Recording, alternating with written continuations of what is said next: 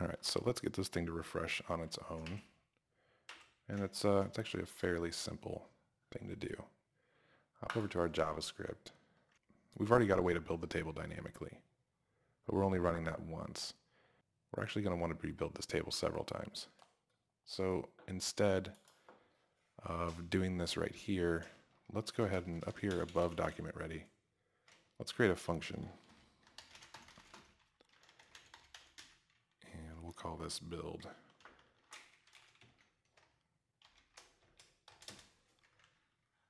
And uh, we don't need to send it any parameters. It's actually a really simple function.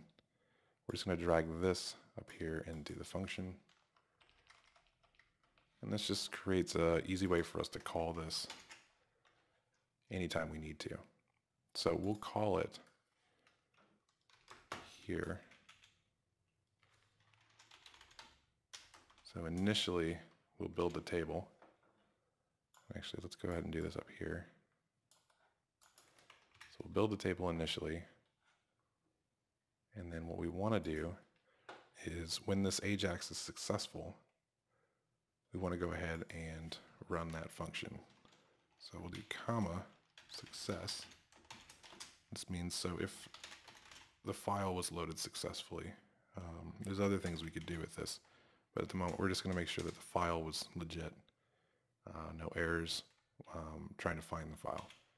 So if it was a success, go ahead and build. And that's pretty simple. Um, and while we're at it, let's go ahead and just make a function for tally. So function tally, because we're going to want to retally as well. And we'll take this and move it here. And actually, instead of retallying every time we rebuild or putting that new function in, let's just go ahead and assume that that's going to be something that goes along with building. So after the uh, log is built, go ahead and run the tally. So that saves a step for us. Let's save this and take a look at what we've done over here. Let's refresh. That's the reload. There you go. Now it's added to the list. Now, you would think that as you add tasks to this list, um, at least in my opinion, you'd want the newest one first. Um, so we need to sort this. So hop back over here, hop over to log.php. And this is pretty simple, especially since we've added those timestamps. We're just to go ahead and do for key sort data. If we save this, hop over and refresh, we should see test the reload come up first. Oh, we didn't, you know why?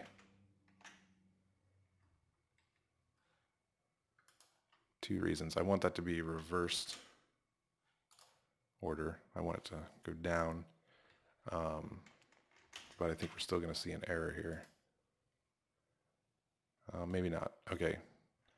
I was thinking we would because these tasks have inconsistent IDs with the other ones.